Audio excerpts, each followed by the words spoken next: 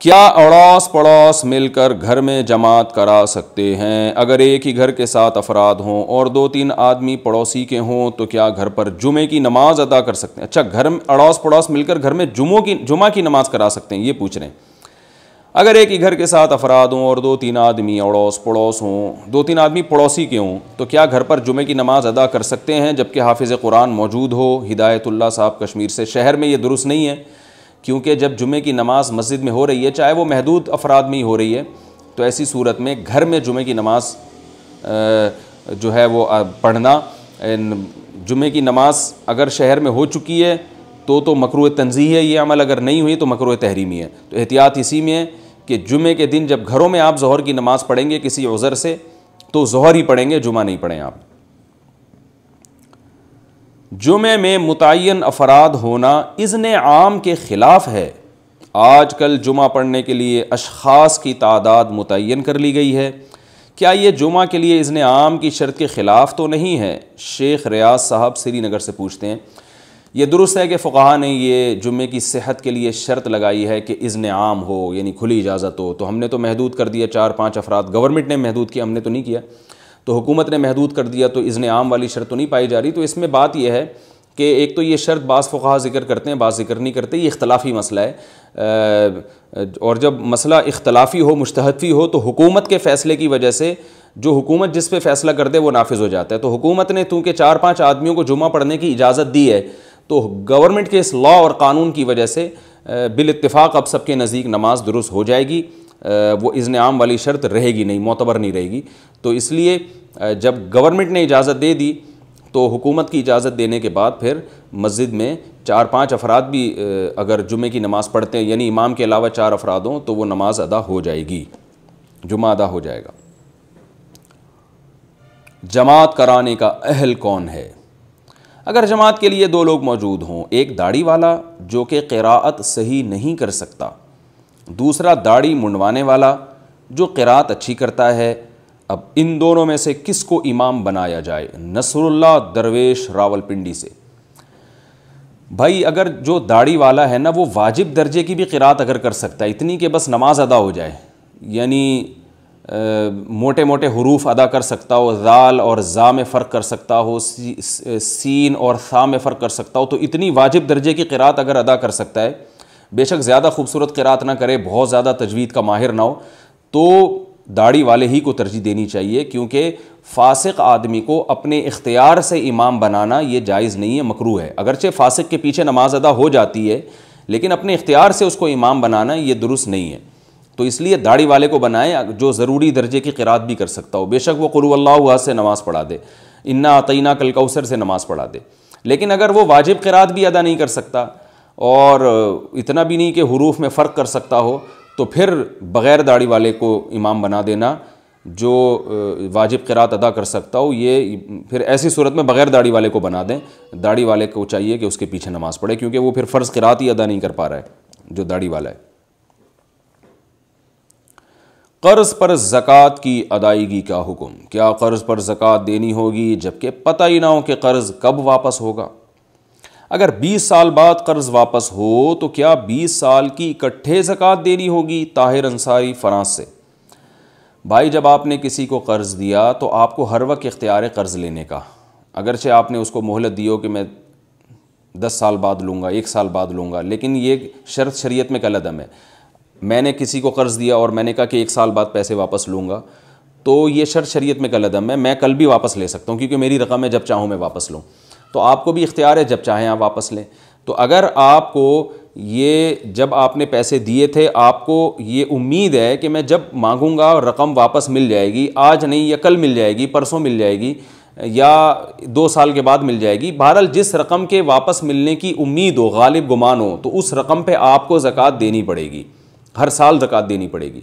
और अगर जिस रकम पर के वापसी की आपको उम्मीद ही ना हो तो उस पर आपको ज़क़़त वाजिब रहती नहीं है। आपको उम्मीद नहीं थी कि ये देगा मुझे, लेकिन इत्तेफाक से उसने 20 साल के बाद दे दी वो रकम वापस। तो अब इसमें ओलमा के दोनों कौल हैं। बाज़ ये कहते हैं कि पिछले 20 सालों की ज़क़़त भी आपको देनी पड़ेगी। बाज़ ये कहते हैं कि नहीं, पिछली ज़क़़त साखित हो गई। तो एहतियात इसी में है कि पिछले 20 सालों की ज़क़़त भी दे दें, लेकिन दूसरा कौल भी है और वो उसमें आसानी है कि अगर ना भी दें तो इन गुनाह नहीं होगा। वज़ी अजम रिलीफ फ़ंड में ज़क़़त दे सकते हैं। क्या वज़ी अजम और वज़ी अली के रिलीफ फ़ंड में ज़क़़त की रकम अदा की जा सकती है? इससे इनकम टैक्स में छूट मिलती है, मोहम्मद इरफ़ान, बंगाल, इंडिया से। भाई, मुझे नहीं पता कि वज़ी अजम रिलीफ फ़ंड में ज़क़़त सही ठिकाने पे जाएगी या नहीं जाएगी। जिस चीज़ की मुझे तहकीक ना हो, मैं उस पर कैसे आपको गाइड कर सकता हूँ? हुकूमत के जो काम होते हैं उनमें जब बड़ा, बहुत बड़ा फ़ंड आता है तो ऐसा भी हुआ है माजी में कि वो हुकूमती एहलकार खा गए। बहुत बड़ी रकम खा गए, कुछ गरीबों में दे दी और ज़्यादातर खा गए। और ऐसा भी हुआ है कि दी है, हुआ होगा यकीन माजी में ऐसा भी। तो अब हमें नहीं पता कि ये क्या होगा। तो आपको अगर अतमाद है तो आप दे दें। मैं जब तक किसी चीज़ की तहकीक ना कर लूँ, मैं उसके बारे में अपनी राय दे नहीं सकता। तो मुझे नहीं पता कि हुकूमत ने इसमें जो है ना, इस काम को फेयर रखने के लिए और वाकई मुस्तकिन तक रकम पहुँचे और इसमें ज़रा भी धांधली ना हो, इसके लिए गवर्नमेंट ने क्या निज़ाम बनाया है? तो जब तक वो मुझे इल्म नहीं होगा तो मैं उसके बारे में अपनी राय दे नहीं सकता। तो जिसको अतमाद है वो दे दे, उसकी ज़क़़त अदा हो जाएगी, जिसको अतमाद नहीं है वो खुद खुद दे। तो बेहतर यही है कि आप ख़ुद गरीबों तक पहुँचाएँ ना, जितना इंसान को ख़ुद रकम पहुँचाने में इतमान होता है, इतना किसी और को देने में नहीं होता। तो आप या तो अपने इलाके के जो सही आलिम हैं, अगर जिन पर इतमान हो, याद रखें हर दाढ़ी टोपी वाला भी काबिल अतमाद नहीं होता। बाज़ लोग क्या करते हैं इस किस्म के मौाक़े पे ना, जब उनको पता होता है कि लोग चंदा देंगे तो वो दाढ़ी रख के या चेहरे पे नूर वूर लगा के, क्रीमें लगा के, या वैसे ही माथे पे निशान लगा के, या ऐसे सूफियों वाले लिबास में ना घूमना शुरू कर देते हैं और चंदे ले लेके हराम खोरी का एक दरवाज़ा खुल जाता है, करोड़ों रुपए खा जाते हैं लोगों के। और इसलिए सिर्फ़ किसी की दाढ़ी नहीं देखनी, किसी की सिर्फ़ नमाज़ नहीं देखनी, किसी की सिर्फ़ होलिया नहीं देखना, किसी की सिर्फ़ लफाजी नहीं देखनी कि कितनी चिकनी चपड़ी बातें कर रहा है। तो आजकल जो है ना, फ्रॉड बहुत है दुनिया में। लोग कैश कराते हैं, मुझे बहुत अफसोस होता है। कि जब भी कोई मुल्क पे ऐसे हालात आते हैं, अल्हम्दुलिल्लाह लोगों में एक जज्बा है, लेकिन उस जज्बे को बाज़ लोग बहुत नाजायज़ कैश कराते हैं और हराम खोरी का एक दरवाज़ा खुल जाता है। तो ऐसे फेंके नहीं अपनी सदक़ात व खैरात को। अगर आपको हुकूमत पे अतमाद है तो आप हुकूमत को दें। और बेहतर यही है कि ख़ुद जाके सर्वे करें या किसी ऐसे आलिम पर जो आप, जिसको जानते हो ज़ाती तौर पर, जिनसे माली लेन देन आप ज़रा महल्ले में करके देखें आप उनसे, जिस पर एतमाद हो तो फिर आप उनके ज़रिए गुरबा और मसाकिन को रकमें पहुँचाएँ, उनको राशन तकसीम करें। अलहमदिल्ला मसाजिद के आइमा बहुत से मस्जिदों के इमाम, हजरात ये काम कर रहे हैं।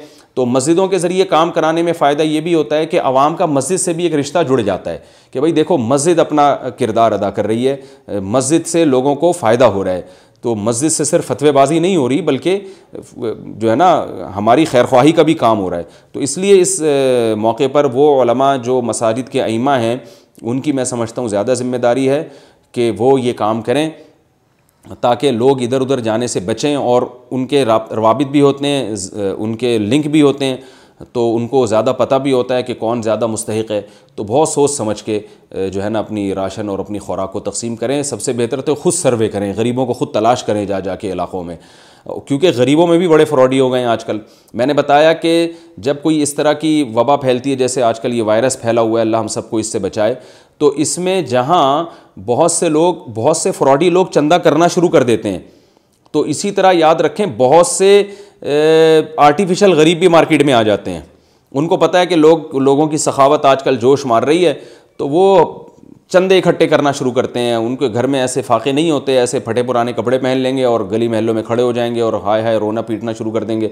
तो बड़ी एहतियात की बात है, लोगों की बड़ी रकमें निकलती हैं और हमारी कौम में अल्लाह ने बड़ा जज्बा रखा है ख़र्च करने का, लेकिन ये सारा जज्बा ज़ाया हो जाता है मैनेजमेंट ना होने की वजह से और बग़ैर तहकीक के ख़र्च करने की वजह से।